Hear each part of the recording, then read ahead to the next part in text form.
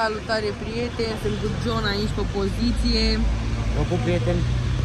Am venit aici la frizerie să se tundă băieții, David, Alin. Nu știu și patrona pe aici prin zonă, nu știu unde s-a dus exact, cred că s-a dus să-și cumpere o apă. Și am zis să deschid vlogul cu Ion. Ce ne mai spui Ioane? Ce să vă zic, fraților mei? Vă pup pe Ion, Miela, Ce ghiul! Alin, suntem șmecheri. Ce mi-ai făcut Ioane în lipsa noastră? Ce să fac? Voi urma mâine să plec în țară. Deci mâine John pleacă la Strehaia, ne părăsește din nou. Luni voi vine înapoi. E bine că se întoarce el. E pe poziție.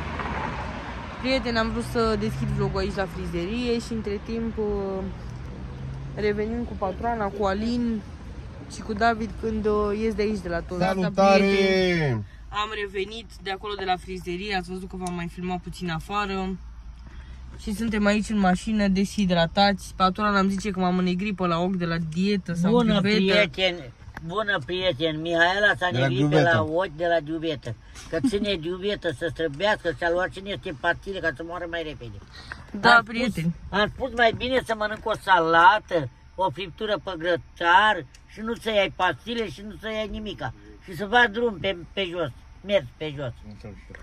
Am luat într-adevăr, prieteni, niște pastile pentru detoxifiere, adică nu fac ceva rău, doar că scot toxinele astea care le-am mâncat de la grăsime, de la toate alea, dar într-adevăr m-am înnegrit pe la ochi, are dreptate patroana. De la somn, Sau poate de la oboseală, da. Păi ce oboseală, dai cu țapa? Da.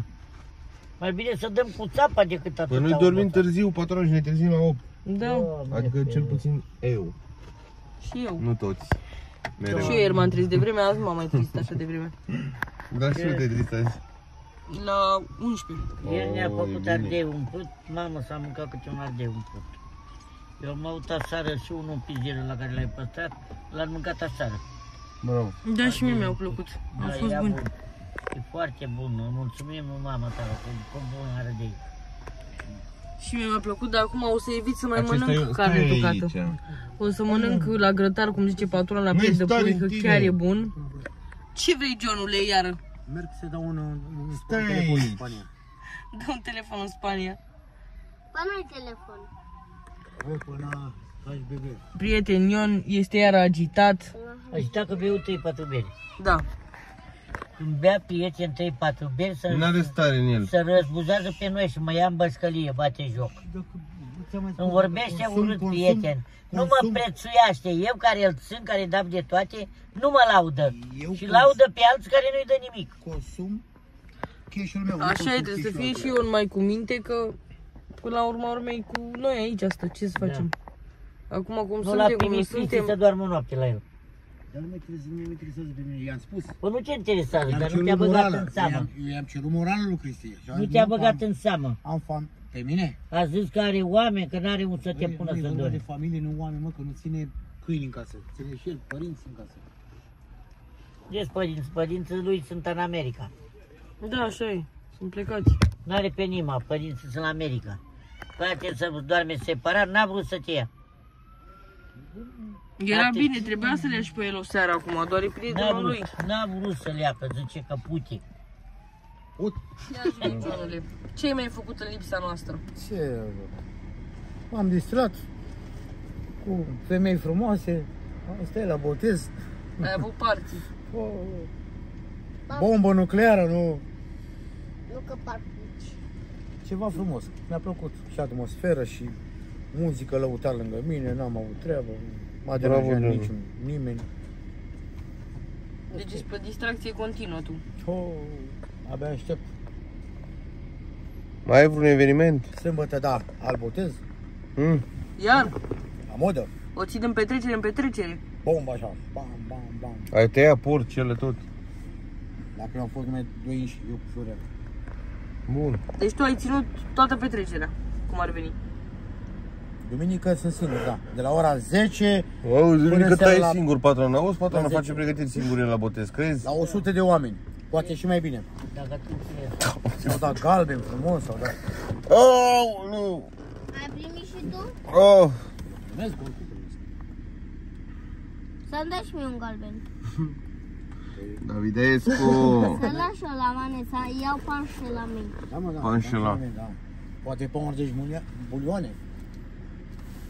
Măcar să iau o mie de bulioane. Deci, prieteni, ați înțeles acum, dacă aveți un eveniment, ceva, trebuie să contactați neapărat pe, Pe Ion, că Johnny. el ține tot evenimentul. Păi, Pe John să-l... Johnny Manivel. Pe Da. Johnny Manivelă. Pe Johnny Manivelă.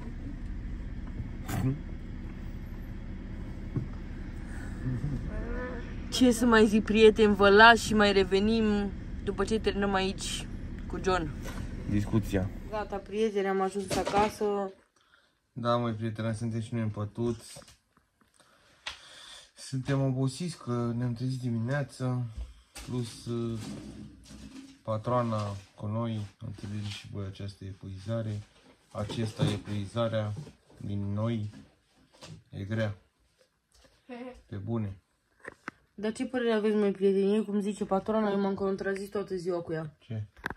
Cu slăbitul. M-am înnegrit la față, pe sub ochi, nu știu. Parcă am cearcăne, dar eu cred că de la Păi și eu oboseală. am de la oboseală. Ce până acum am avut? Au apărut acum. Nu cred că de la slăbit sau ceva. Plus că sunt nemachiată, că nu m-am mai machiat. Și eu sunt nemachiat. Și cred că da, da, și tu ești nemachiat azi. Da. Nu cred că de la, de la treaba cu dieta. Până la urmă, nu mi acum ce să facem, prieteni. Cu ghiveta. Să facem 200 de kg ca să fim roșii în obraj. Prieteni, uitați ce am eu. O, biletele de la Meci. de la meci. Ia să să scot și Da, prieteni, și plus că răceala asta nu ne mai trece. Au tot persistat simptomele astea de răceală. Eu tușesc într-una și respir și greu. Da, asta e. Și răceala și oboseala se adună. Și acum ce să facem? Trebuia oricum să punem în aplicare treaba asta cu dieta, că nu putem acum să facem 200 de kg să fim uh, mai, uh, nu știu, vioi așa la față. Asta e, e o schimbare drastică. Că Începem și noi acum drastic. cum încep tu drastic? Mai prieteni, începem așa mai drastic, brusc, și după aia ușor, ușor ne stabilim și noi niște mese, p- p- cum să vă zic, uh, normale, nu cum ca până acum noi mâncam la orice oră ne venea și nu mai iurele, știți? Adică să mâncăm și noi normal, regulat, cum mănâncă lumea. Dimineața, seara, ceva ușor, o dată pe săptămână putem să exagerăm, Păi, oricum, în orice, în Ceva orice de de genul. ăsta, regim poți să-ți alegi o zi în care am văzut că în majoritatea dietelor o zi ți-o alegi și mănânci absolut ce vrei, adică să faci toate poftele pe care le ai. Acum că, bine, noi aveam pofte în fiecare zi. Asta nu era normal, clar. Să mănânci la ore necorespunzătoare și să te duci să bagi șaorma sau ceva la 12 noaptea sau la 11. Nu, uite, un pește merge acolo unde mâncam noi iar. Știi? Pe Da. ușor. Merge. O, o mămăligă, o treabă. Merge. Vorba vine o mămăligă. Eu mămăliga nu îngrașă. Pâinea îngrașă. Ah, bravo. Putem să mâncăm o mămăligă. Mămăliga nu îngrașă. Mhm. Chiar nu. Bun așa. Da, mă, prieteni, eu zic că am făcut o alegere bună, mai ales că v-am zis, zilele trecute eu chiar m-am simțit rău și știți foarte bine. Și asta m-a făcut să iau decizia finală, să încep o dietă în adevăratul sens al cuvântului, adică nu mai așa uh, să râdem, hai că ținem regim, hai că nu. Acum trebuie luate lucrurile mai în serios, pentru că ne punem mai ales înainte de toate, nu mai spui de aspect, dar vorbești în primul și în primul rând despre sănătatea ta. Da, mai Și prieteni, am până zis nu că mă na. uite, dacă urcăm 3 trepte de scară obosim, e iurea. Sau noi dacă mergem într-un parc pe jos, până la ieșire din parc leșinăm, ce e aia? Trebuie să avem și noi o viață normală, adică eu înainte chiar nu eram așa și nu știu de ce ne-am neglijat noi atât de mult în ultimul timp. De la Dar stres, de la am avut și probleme, perioada Luciana. care am avut-o și nu puteam să stăm atunci să ne facem uh, regim alimentar la ore fixe, când noi eram vai de capul nostru și nu știam în care parte să o apucăm mai repede. Dar orice lucru trebuie făcut oricât de târziu dacă îl faci pentru tine și pentru sănătatea ta. Acum încercăm să avem și noi un ritm de viață cât mai normal și sperăm să funcționeze, adică să și slăbim. De simțit, eu mă simt bine, adică nu m-am simțit rău de când am început să țin uh, regimul ăsta. Și v-am zis, am luat și pastilele alea de detoxifiere, cum zice patrona, că de la pastilele alea mor.